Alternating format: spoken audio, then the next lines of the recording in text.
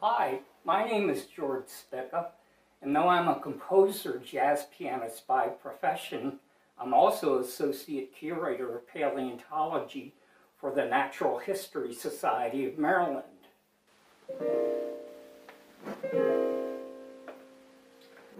At November's Fossil Club meeting, which was about shark's teeth, somebody suggested, why not have a Christmas song about shark's teeth? And I said, I can do that, and here we are.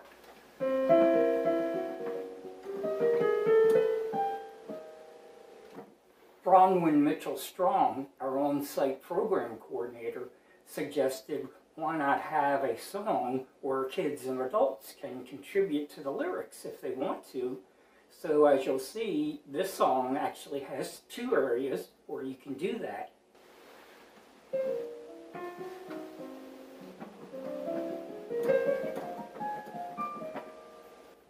So if you want to add a lyric, email Bronwyn here and she'll send you a lead sheet and an MP3.